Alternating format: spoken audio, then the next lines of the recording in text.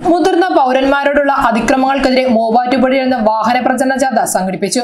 Muvattupuzha R D O Ani P N ജാഥ flag off ചെയ്തു. മുതിർന്ന പൗരന്മാരോടുള്ള അതിക്രമങ്ങൾക്കെതിരെയുള്ള ബോധവൽക്കരണ ദിനാചരണത്തിന്റെ ഭാഗമായി വാഹന പ്രചരണ ജാഥ സംഘടിപ്പിച്ചു. കേരള സർക്കാർ സാമൂഹ്യനീതി വകുപ്പിന്റെ ആഭിമുഖ്യത്തിൽ എല്ലാ ജില്ലകളിലും വിവിധ ബോധവൽക്കരണ പരിപാടികൾ സംഘടിപ്പിച്ചു വരുന്നതിന്റെ ഭാഗമായാണ് ജാഥ നടത്തിയത്.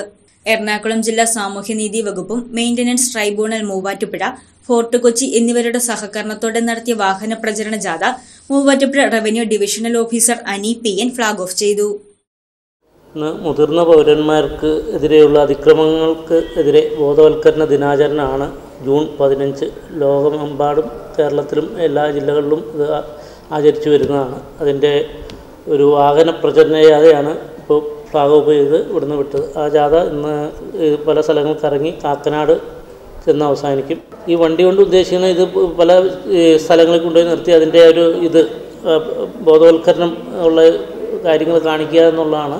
ജില്ലയിലെ ഈ കുറേ സ്ഥലങ്ങളിലൊക്കെ കാണിക്കുന്നു. അതിനുവേണ്ടിയാണ് വണ്ടി പോകുന്നത്. വയോജന സംരക്ഷണ നിയമം രണ്ടായിരത്തി ഏഴ് വയോജനങ്ങൾക്കായുള്ള വിവിധ ക്ഷേമ പദ്ധതികൾ എന്നിവയുടെ ബ്രോഷർ പ്രകാശന വിതരണത്തോടെ ബോധവൽക്കരണ പരിപാടികൾക്ക് തുടക്കം കുറിച്ചു. മൂവാറ്റുപുഴ ആർ ഡി ഒ ഓഫീസിൽ നിന്ന് ആരംഭിച്ച വാഹന പ്രചരണ ജാഥ കാക്കനാട് സിവിൽ സ്റ്റേഷനിൽ നടക്കുന്ന പൊതുസമ്മേളനത്തോടെ സമാപിക്കും. News desk Muvattupuzha news.